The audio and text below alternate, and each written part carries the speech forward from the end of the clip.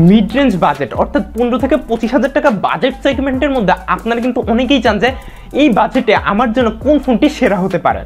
So এই ক্ষেত্রে দেখা যায় যে আপনাদের এক একজনের চাহিদা এক এক রকম থাকে। কেউ চান একটি ভালো ক্যামেরা কোয়ালিটির ফোন কেউ চান একটি গেমিং ফোন অথবা কেউ চান যে আপনার ভালো প্রসেসর দিতে হবে এবং আপনাকে একটি ভালো ব্যাটারি ব্যাকআপ দিতে হবে। তো এই টাইপের বিভিন্ন চাহিদা নিয়ে আপনারা কিন্তু মিড রেঞ্জ বাজেটের মধ্যে একটি সেরা ফোন খুঁজতে গিয়ে প্রচণ্ড কনফিউশনে পড়ে যান। সো হ্যালো ভিউয়ার্স আমি Yasin from technical tech twenty four YouTube channel so আজকের ভিডিওতে আমি আপনাদেরকে পনেরো থেকে পঁচিশ হাজার টাকা বাজেটের মধ্যে সেরা পাঁচটি ফোন সাজেস্ট করব। যেগুলো আপনারা চোখ বন্ধ করে কিনে নিতে পারেন। তো আমাদের আজকের ভিডিও টপ ফাইভ ফোনের মধ্যে আপনাদের যাদের বাজেট পনেরো বা ষোলো হাজার টাকার আশেপাশে, তো সেক্ষেত্রে আপনারা যে ফোনটি নিতে পারেন, সেটি হচ্ছে Realme nine so first of all আমরা যদি এই ফোনটির ডিসপ্লে সেকশনে আসি, তো এই ক্ষেত্রে আপনারা এই ফোনটিতে পেয়ে যাচ্ছেন একটি ফুল এইচডি প্লাস রেজুলেশনের আইপিএস এলসিডি ডিসপ্লে তো সেক্ষেত্রে আপনারা কিন্তু ডিসপ্লে সেকশনেও এই বাজেট সেগমেন্টে সন্তুষ্ট থাকতে পারেন এবং এরপর যদি আমরা এর ক্যামেরা কোয়ালিটিতে আসি, তবে সেক্ষেত্রে আপনারা ব্যাকে পেয়ে যাচ্ছেন কোয়াড ক্যামেরা সেট আপ যার মেন সেন্সরটি হচ্ছে থার্টিন মেগাপিক্সেল এরপর রয়েছে এইট মেগাপিক্সেল এরপর রয়েছে ফাইভ এবং এরপর রয়েছে টু মেগাপিক্সেলের একটি ম্যাক্রো শুটার এবং আপনারা যদি এর ফ্রন্ট ফেসিং ক্যামেরায় আসেন, তবে এক্ষেত্রে আপনারা পেয়ে যাবেন এইট মেগাপিক্সেলের একটি সেলফি শুটার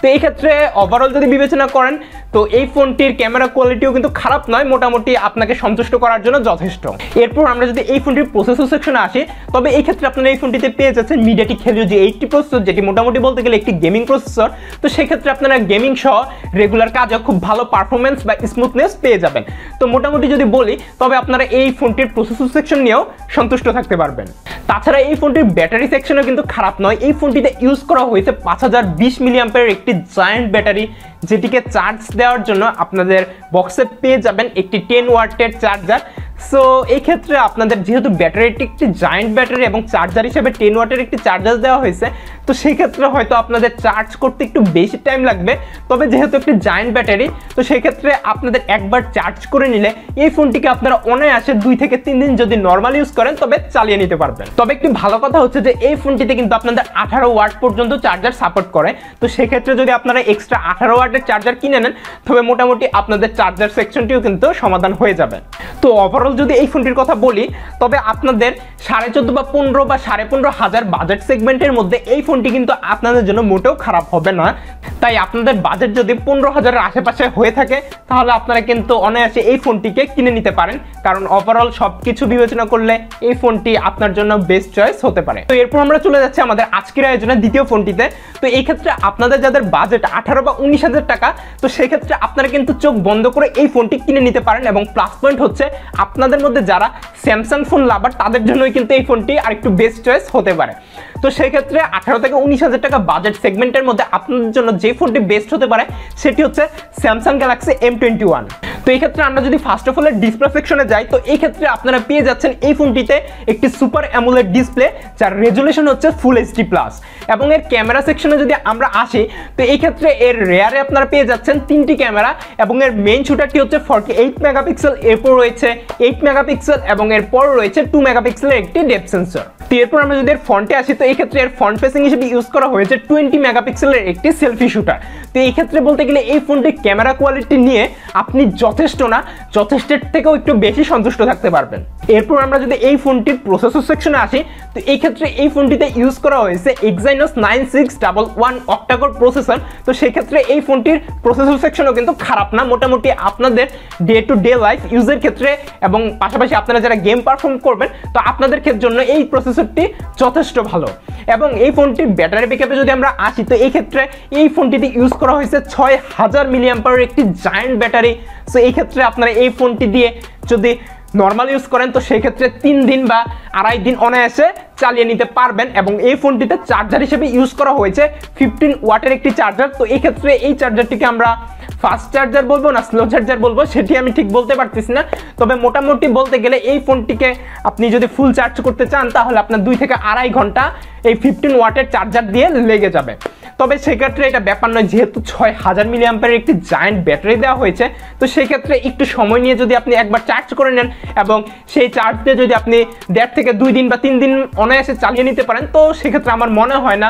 একটু কম চার্জার দেওয়া হয়েছে বলে এই ফোনটি আপনার জন্য খারাপ হবে। কারণ কমপ্লিট প্যাকেজ যদি আপনি দেখেন, তাহলে ওভারঅল সব কিছুই কিন্তু আপনাদের এই ফোনটি আপনার চাহিদা পূরণ করতে পারবে। সো আই থিঙ্ক আপনাদের যাদের বাজেট আঠারো বা উনিশ হাজার টাকা এবং আপনারা যারা স্যামসাং প্রিয়, তারা কিন্তু খুব সহজেই এই ফোনটি এই বাজেট দিয়ে লুফে নিতে পারেন। কারণ এই ফোনটি এই দামে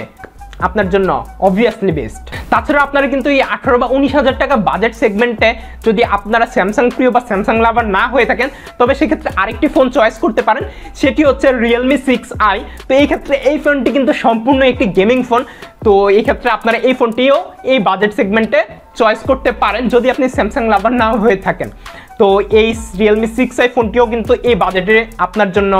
জোস হতে পারে। তো এবার আমরা চলে যাব আমাদের আজকের আয়োজনে পরবর্তী ফোনটিতে তো এই ক্ষেত্রে আপনাদের যদি বাজেট উনিশ হাজার প্লাস বা বিশ হাজারের মতো, তো সেক্ষেত্রে আপনারা যে ফোনটিকে চয়েস করতে পারেন, সেটি হচ্ছে Redmi Note nine so first of all আমরা যদি এই ফোনটির ডিসপ্লে সেকশনে আসি, তো এই ক্ষেত্রে আপনারা এই ফোনটিতে ফুল এইচডি প্লাস রেজুলেশনের একটি আইপিএস এলসিডি ডিসপ্লে পেয়ে যাচ্ছেন এবং এটিতে আপনারা পেয়ে যাচ্ছেন একটি সিঙ্গেল পাঞ্চ হোল পাশাপাশি আমরা যদি এই ফোনটির প্রসেসর সেকশনে আসি, তো এই ক্ষেত্রে আপনারা এই ফোনটিতে পেয়ে যাচ্ছেন Helio G eighty five processor এবং এই ফোনটির আমরা যদি ক্যামেরা সেকশনের কথা বলি, তবে এই ক্ষেত্রে আপনারা পেয়ে যাচ্ছেন কোয়াড ক্যামেরা সেটআপ যার মেইন শুটারটি হচ্ছে ফর্টি এইট মেগাপিক্সেল এরপর রয়েছে আপনাদের এইট মেগাপিক্সেল এরপর রয়েছে টু এবং টু মেগাপিক্সেলের একটি ডেপ সেন্সর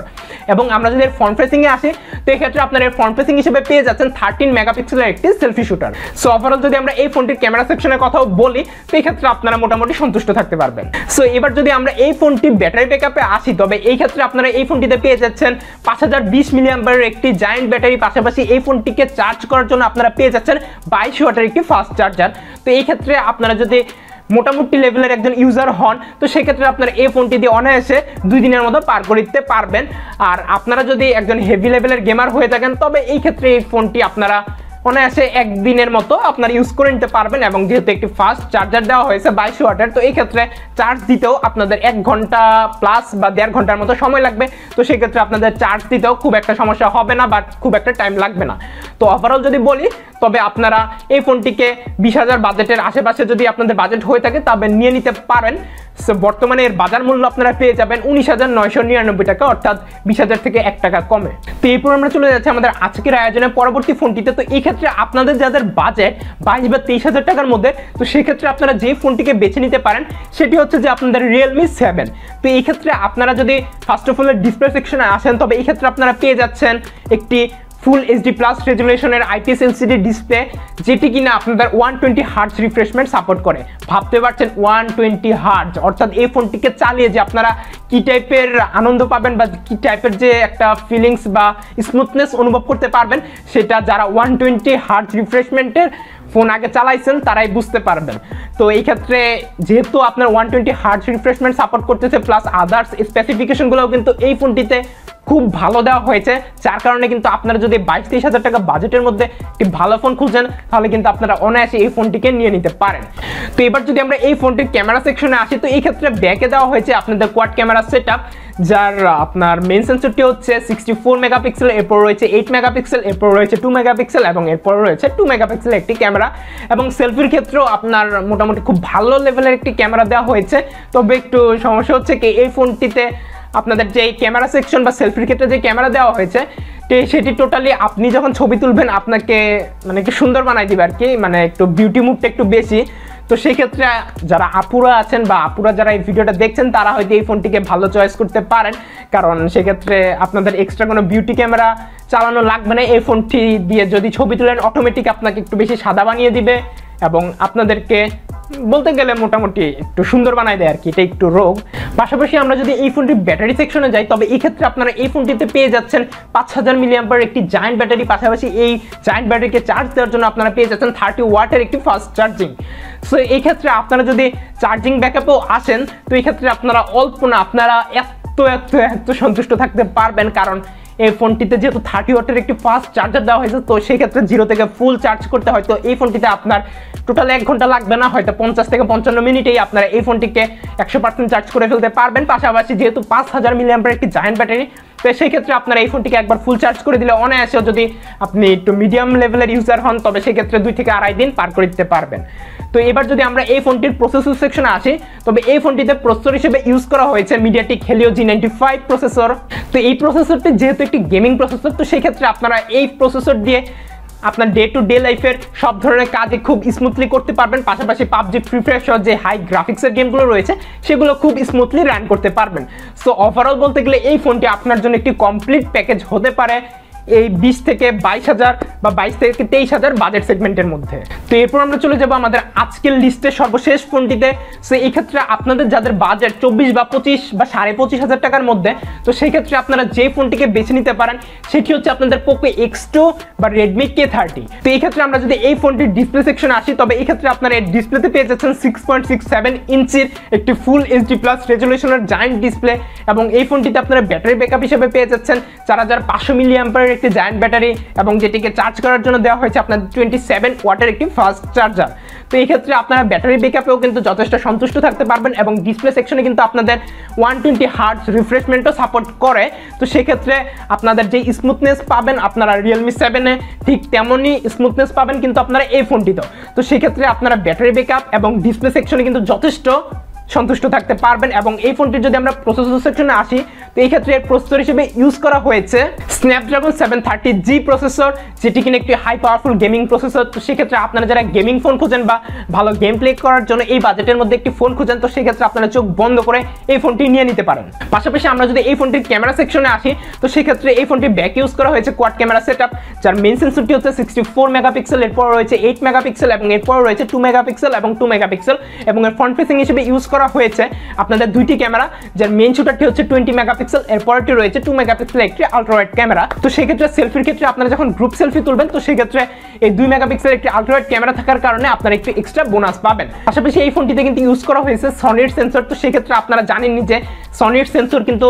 অবজেক্ট বা কোনো ছবির শার্পনেসটা ভালোই ক্যাপচার করতে পারে। তো সেক্ষেত্রে আপনাদের ক্যামেরা কোয়ালিটি বা আপনি যদি ভিডিও শুটিংয়ের জন্য একটি ভালো ক্যামেরা বা ভালো ক্যামেরা কোয়ালিটির ফোন খুঁজেন, তো সেই ক্ষেত্রে কিন্তু আপনারা এই ফোনটিকে বেছে নিতে পারেন। পাশাপাশি আপনার যদি ভালো গেমিং লাগে, ভালো ক্যামেরা লাগে, ভালো ব্যাটারি ব্যাকআপ লাগে সো ওভারঅল সব কিছু মিলিয়ে পঁচিশ হাজার টাকা বাজেট সেগমেন্টে পোকো এক্স টু বা রেডমি কে থার্টি যেহেতু দুটো একই ফোন একটা গ্লোবাল আর একটা চাইনিজ ভার্সন তো সেক্ষেত্রে এই ফোনটি আপনাদের জন্য একটি কমপ্লিট প্যাকেজ হতে পারে। সো মোটামুটি এইগুলো আমাদের আজকে আয়োজন। তো এই পঁচিশ হাজার টাকা বাজেট সেগমেন্টে কিন্তু আপনাদের আরও কিছু ফোন পাওয়া যায় যেগুলো কিন্তু আপনাদের জন্য ভালো হতে পারে, যেমন রিয়েলমি এক্স টু পাশাপাশি আরও কিছু কিছু ফোন রয়েছে, যেগুলো আপনারা দেখতে পারেন। সো ওভারঅল এই ছিল আজকের ভিডিওতে। তো ভিডিওটি ভালো লাগলে একটি লাইক দিতে ভুলবেন না। দেখতেছেন তো কত কষ্ট করে যে ঘামাই গেছি, খুব কষ্ট করে আপনাদের জন্য ভিডিও বানাইতেছি। তো সেক্ষেত্রে একটি লাইক তো আপনাদের দেওয়া উচিত। তো সবাই ভালো থাকবেন, সুস্থ থাকবেন, এবং চ্যানেলটি এখনও সাবস্ক্রাইব করে না থাকলে সাবস্ক্রাইব করে আমাদের ফ্যামিলির একজন সদস্য হয়ে যান। তো সবাই ভালো থাকুন। আসসালামু আলাইকুম।